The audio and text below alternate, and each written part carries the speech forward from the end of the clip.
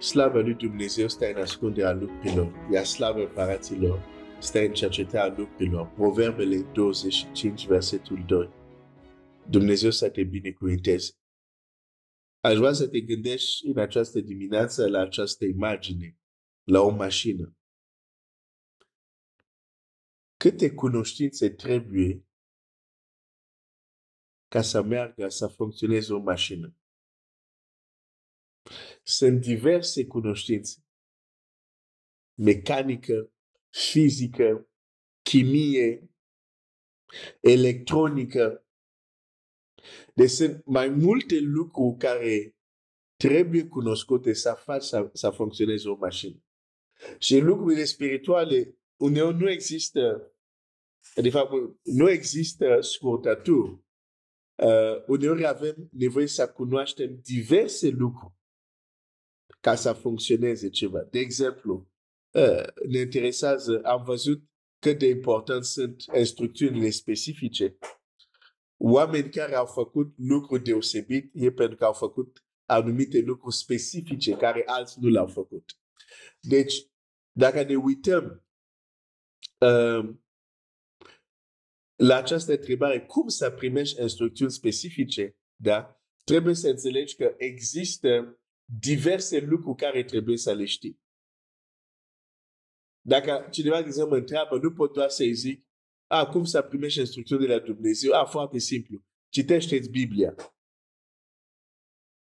Deși uh, scopul meu citește Biblia sau roagă-te, uh, sunt sfaturi bune, dar deja sunt foarte vagi, sunt foarte generale așa. Și mulți au primit astfel de răspunsuri. Și eu mi s-a întâmplat să primesc. Și când am încercat, nu neapărat am primit ceea ce căutăm. Pentru că a primit de la Dumnezeu, instrucțiuni de la Dumnezeu, cere să cunoaștem anumite lucruri. Un lucru care am împărtășit e trebuie să înțelegem că Dumnezeu vorbește prin diferite căi. Și dacă nu învățăm să fim atenți la caile, deja să le cunoaștem, și să știm să fim atenți, uneori s-ar putea să fie răspuns deja. Și noi să nu știm. Pentru că vorbim, dar nu știm cum să așteptăm.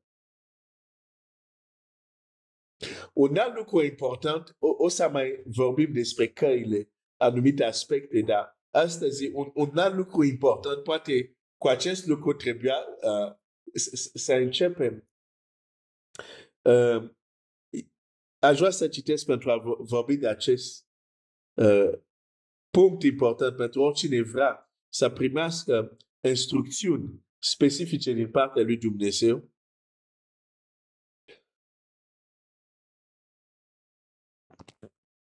Este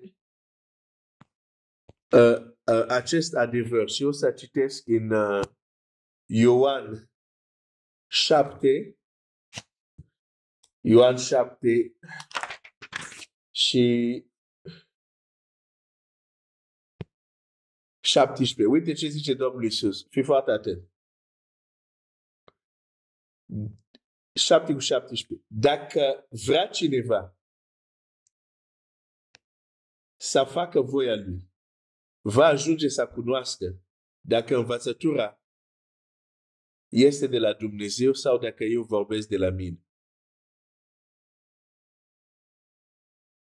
Da? Dacă vrea cineva să facă voia lui, va ajunge să cunoască dacă învățătura este de la mine sau dacă eu vorbesc, dacă învățătura este de la Dumnezeu sau eu vorbesc de la mine. Asta spune Domnul Iisus legat de învățătura lui. Dar acolo vedem un principiu și anume, starea omului zice, dacă cineva în inima lui dorința lui e să facă voia lui Dumnezeu. Va deosebi dacă învățătura mea de la Dumnezeu sau e doar de la mine. Deci, starea în care se află inima mea, dacă îmi doresc să fac voia lui Dumnezeu, contează când vreau să primesc instrucțiuni de la Dumnezeu. Pentru că te întreb, de ce Dumnezeu ți-ar descoperi voia lui? Ți-a, des, ți-a dat anumite instrucțiuni specifice. Dacă dispoziția inimii nu este să facă voia lui Dumnezeu.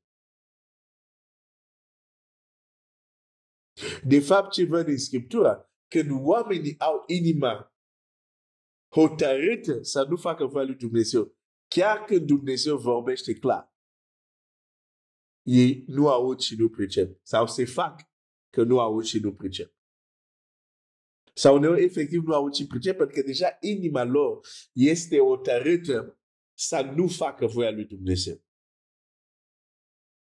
Și atunci gândește-te puțin un creștin sau o creștină care nu are în inima lui sau în inima ei dorință sinceră să facă voia lui Dumnezeu pentru viața lui. Hai să nu ne mințim. Putem să fim creștini și să zicem așa, ok, vrem să trăim frumos, uh, vrem să nu încalcăm uh, poruncile lui Dumnezeu, dar nu neapărat toți au dorit să zic, vreau să știu ce Dumnezeu are pentru viața mea și sunt gata să fac ceea ce vrea El. Da? Deci nu toată lumea are dorință să facă voia lui Dumnezeu în modul acesta. Dar nici nu o caută, pentru că nici nu vor. Deci uneori trebuie să fim sinceri, uneori ne venim la Dumnezeu pentru ce putem primi de la El. Și când asta este cazul, tu crezi că o să ai nevoie de o instrucțiune specifică, Dumnezeu să vină să-ți descopere. Când El știe că, la mod general, oricum, nu ești interesat să faci voia Lui. Că, de fapt, dovadă chiar, înainte să se ridice criză, unde ai avut nevoie specific să-ți vorbească Dumnezeu, nu ai căutat să-L auzi. Acum că este o problemă, vrei să-L auzi.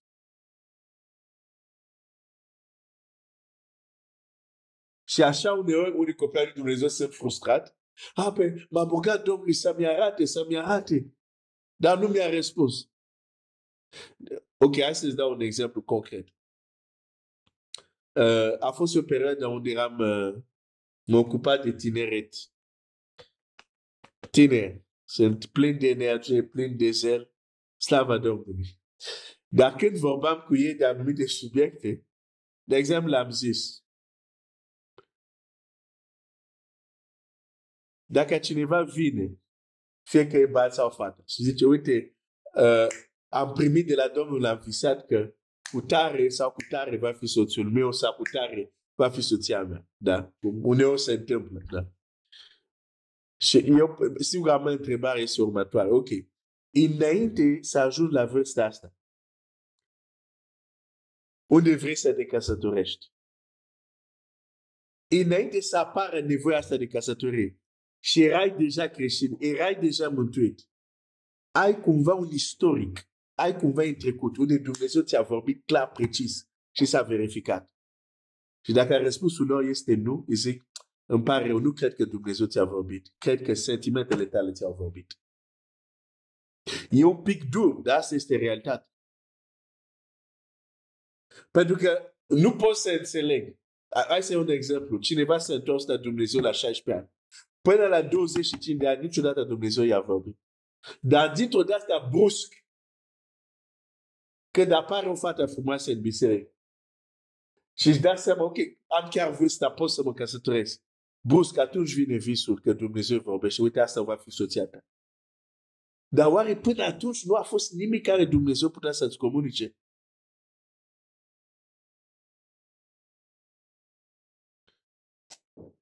Deci, uh,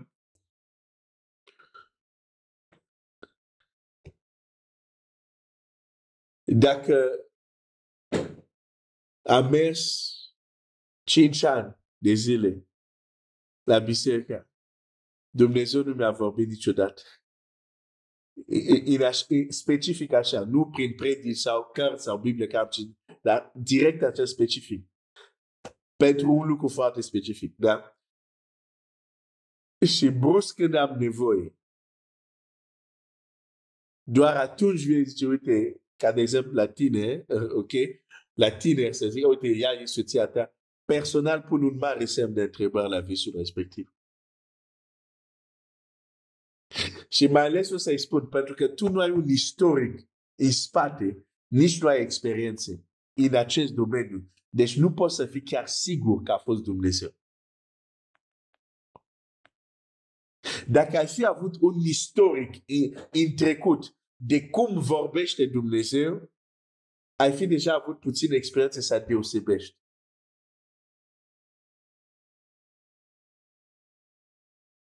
Dar faptul că 5 ani, de exemplu, am mers la Dumnezeu, nu m-a interesat să zic, dar, Doamne, ce vrei să faci cu viața mea? Sau, Doamne, uite, este asta, aș vrea să înțeleg, vorbește și așa mai departe. Și nu exista o comunicare deschisă. Și doar acum când am nevoie alerg la el, uneori prin harul lui pot să am un răspuns, alteori pot să mă lovesc de tacere. Pentru că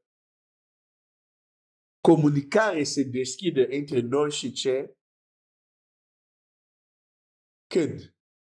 Când noi suntem gata să facem voia Lui. Deci asta este un aspect foarte important. De, de aceea zic, dacă, de exemplu, în, în inima ta, ești conștient că nu vrei să faci voia lui Dumnezeu, nu te mira că întrebările tale către cer nu primesc răspunsul. Ok, asta este un punct care era important să-l vedem. Starea inimii. Oare vrem să facem voia lui Dumnezeu sau nu? Și dacă vrem să o facem, nu suntem doar interesat de ce zice El, nu suntem doar interesat de instrucțiuni specifice când avem noi nevoie. Suntem interesat de ce zice Domnul în orice timp, în orice vreme. Dumnezeu să te binecuvinteze.